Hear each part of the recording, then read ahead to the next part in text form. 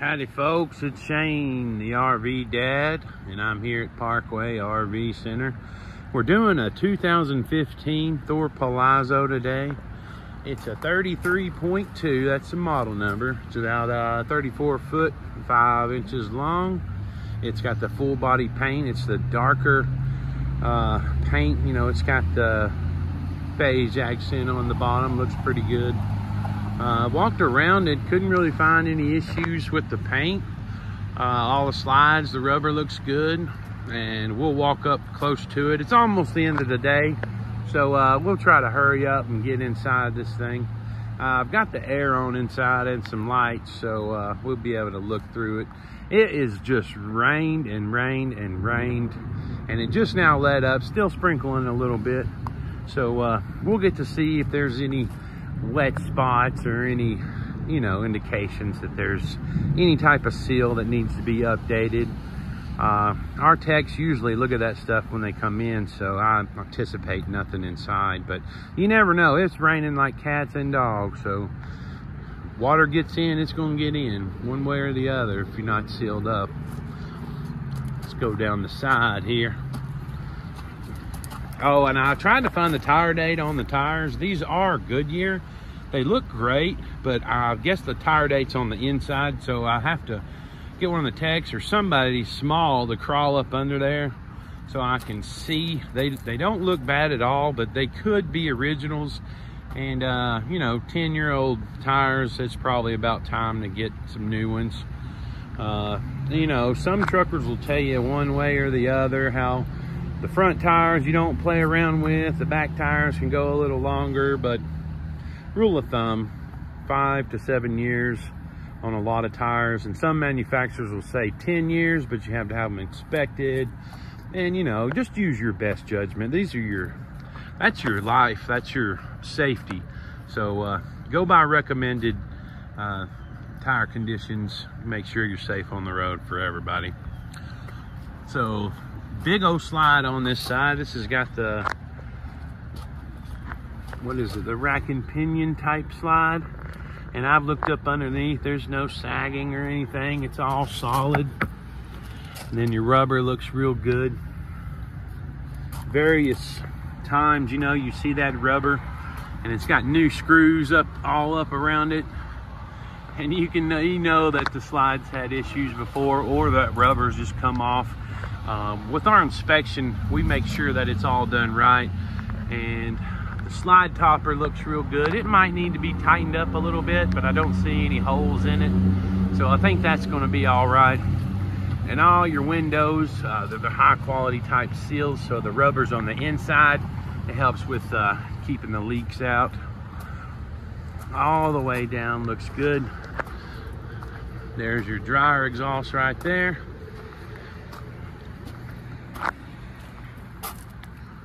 Looks like a little bit of scratch right there. That probably, that might even buff out. Look at that. Here's up underneath this slide. Looks real good.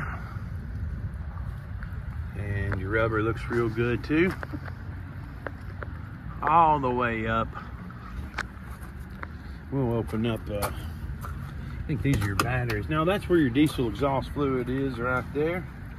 There's your gauge, it's almost full. Oh, that's a good way to see up underneath it too. Yeah. There's in the engine area. I'm looking at the jacks right there. They look really good. You're always looking for rust and stuff. Let's check in the water heater.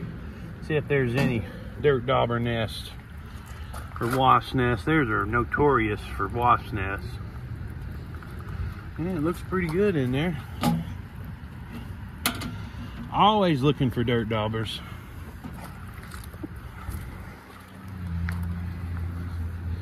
Look back here. You always look in the corners too. Oh, we forgot to take their tag off. A little bit of a paint scuff right there. You got the fiberglass roof and the fiberglass caps. So uh, you're looking for caulk on one spot or the other. It looks pretty good up there. But again, our technicians will look at that once they send it through the shop. Camera system looks good back here. The exhaust looks good too. Doesn't see, I mean, I don't see any rust or anything on it. There's your hitch. It does have a 10,000 pound hitch, so if you're pulling a big car trailer or something, this thing will have no problem. Coming around to the other slide, everything looks good up up the side, and then you're uh, you have to excuse me. It's still raining a little bit. The slide topper looks good. The paint looks good. Let's go up underneath. Oh yeah. Nice and strong on this side.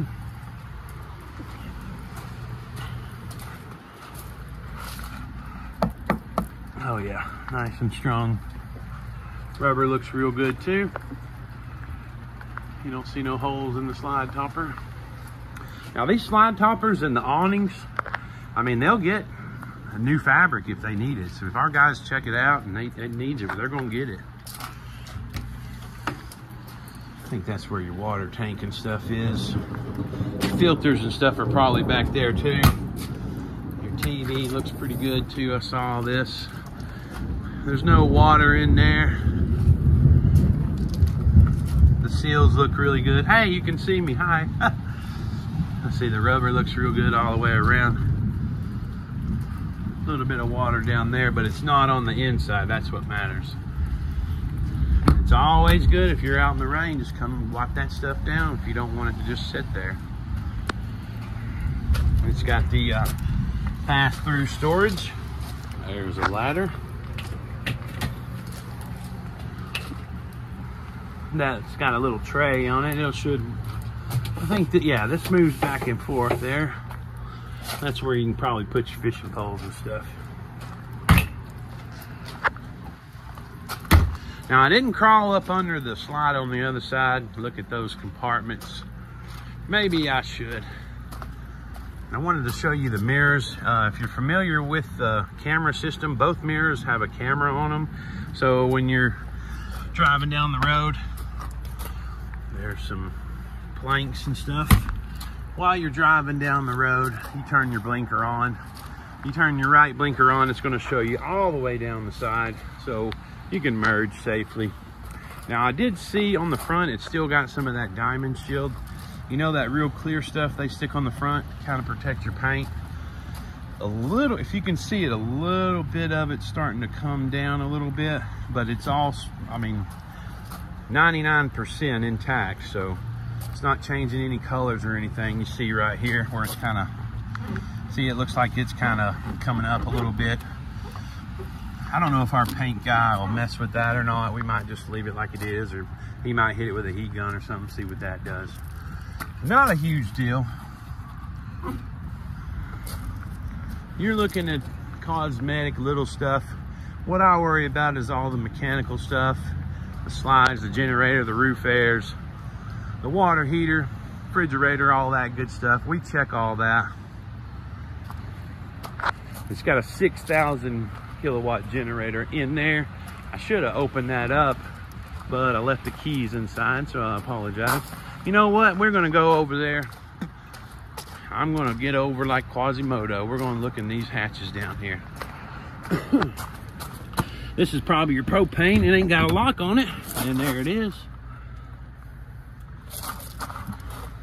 Looks pretty good. You don't see any nicks or anything up under it. Always looking at propane. You know, sometimes if those canisters are nicked up, here's a little bit of storage. Looks like you got two 50 amp wires. This is one side, there's one on the other. I don't know what that is. I have to open that box later. So pretty good storage. There's your water system. Your water station, I should say. All right, let's go around. Let's go in this bad boy.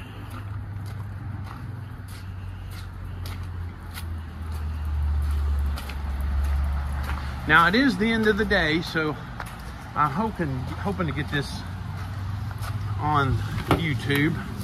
And if you guys follow me, I really appreciate y'all putting up with my novice videos. I promise you I do. Oh, nice and cool in here. With the rain, it really cooled everything off. And I've got the uh, vent open on this one. I'm gonna close it just so it'll calm, quiet down. There we go. Nice, fine cabinetry, looks real good. Dinette in good shape. One thing I like about the Thors and their furniture, it's pretty soft. now this ain't as soft as the last one I did a video on, but it's still pretty comfortable. There your counter, your little table, that solid surface there. Nice and clean. Of course, you know, this will fold down. You can move these cushions in and you've got a little sleeper right here. That one, that sofa there, if it's like the last one, uh, that comes down, the back comes down, and then you put all the cushions down in there. There may be some cushions under the bed that'll make that a lot more comfortable for overnight stayers. All your cabinets look really good. Now I lowered down the bed up front so you guys can see up there. The uh, you'll have to put a mattress up there if you've got somebody that's going to be residing sleeping up there. It's got a 500 pound max weight, so you just gotta remember how much you're putting up here. Children wise or adults, looks like it's a good queen size. And then you got the net to protect you. It came down just fine, so I'm not worried about the tracks. And we'll put it back up. Now, if you notice,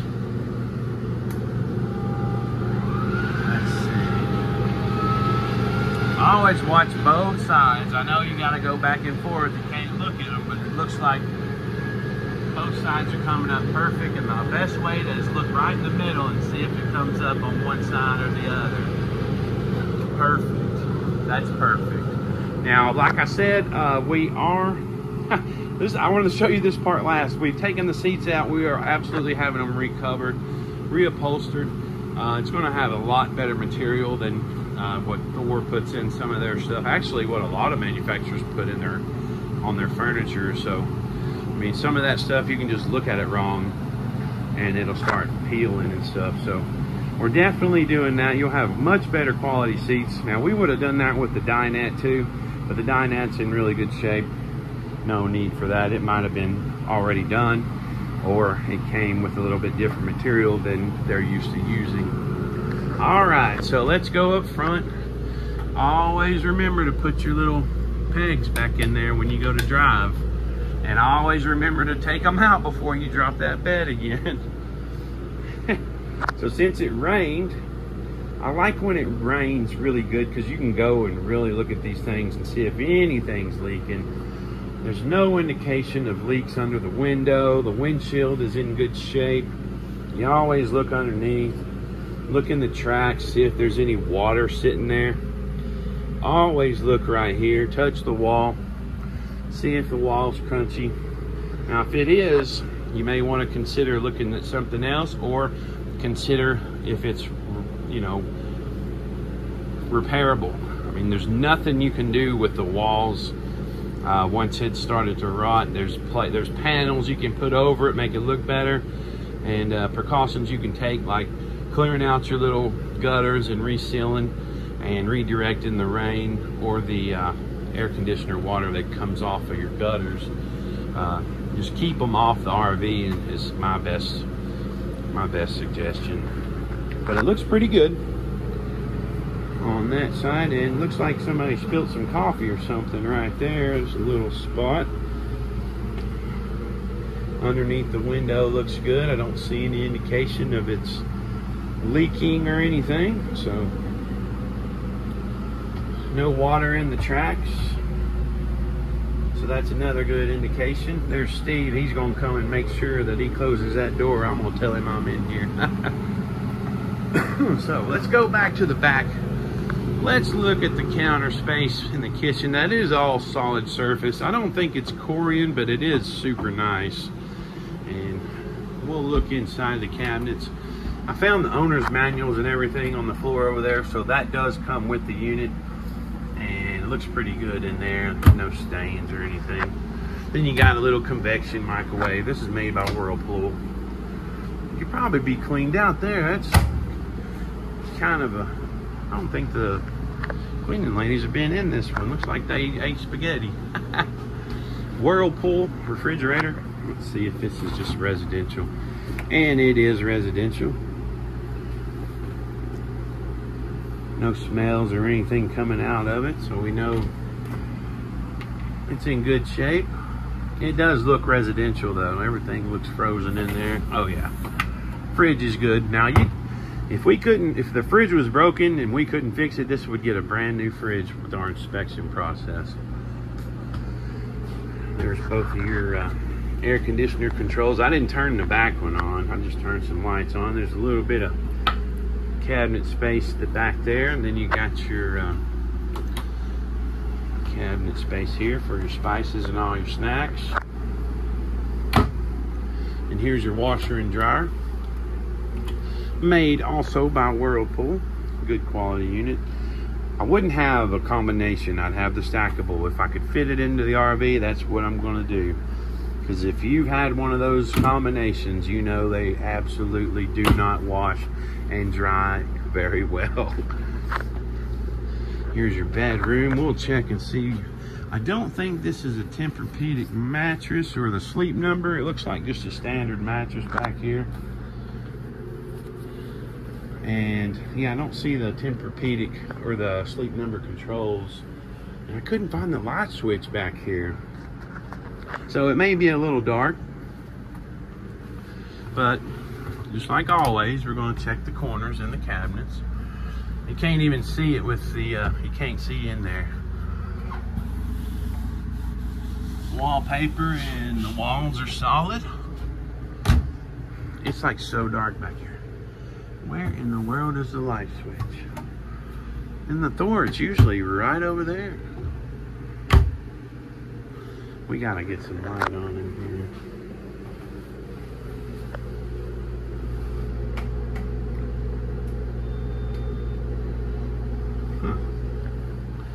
I can't, oh, wait a minute, here we go. Yeah, well, I guess I don't have lights back here. Those go to the lights up underneath.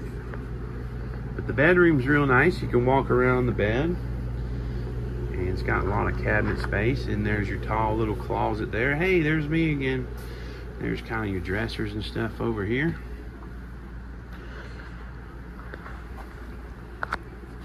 No smoke or pet odors. I don't smell anything that would indicate that there's been a dog in here. You, I'm sorry, y'all can't even see that. I can't see it barely. The walls are nice and solid though. Let's go up front. There's your TV. Sorry about that. Now I would crank this thing and check the motor, but I don't feel safe doing that. It's got a brake controller if you gotta pull something. Um, that'll help put the brakes to your trailer and stuff. 79.9, it's a 2015. It's got the uh, 6,600 miles on it. And we do do financing, so if you need any of that or you have more questions, I'll get the exact specs and all the information that you need reach out to Shane at Parkway RV Center. My email is Shane at parkwayrvcenter.com or the store number 706 965 7929. You guys give me a shout, even if it's to tell me about your latest adventure. I hope you enjoyed the video. Give me a thumbs up if you can. I appreciate you watching, and I look forward to meeting you down in Ringgold, Georgia.